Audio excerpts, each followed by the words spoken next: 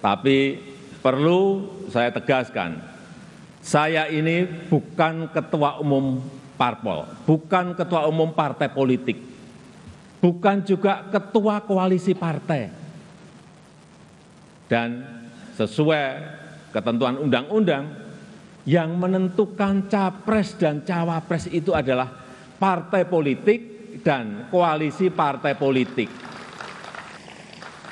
Jadi saya ingin mengatakan itu bukan wewenang saya.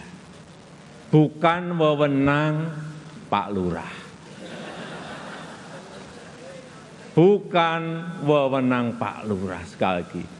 Walaupun saya paham ini sudah menjadi nasib seorang presiden untuk dijadikan paten-patenan dalam bahasa Jawa. Dijadikan alibi, dijadikan tameng Bahkan